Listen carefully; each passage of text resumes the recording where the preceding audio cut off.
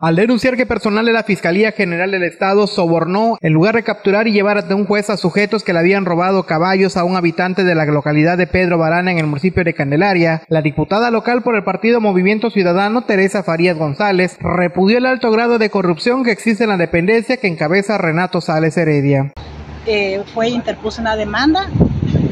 y no pasó nada, al contrario, me comenta él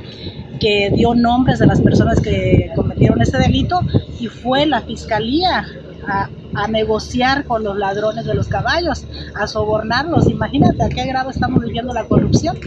Y eso es un tema real porque él lo expuso en una ocasión que, que fueron a visitar allá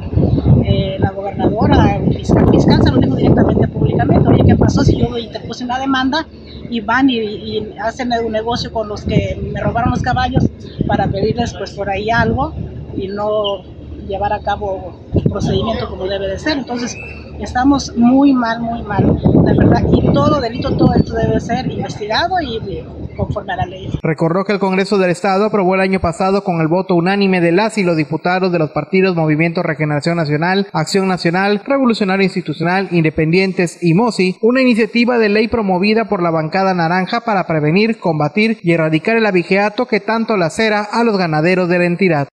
También nosotros presentamos a la servidora de la bancada naranja el tema de la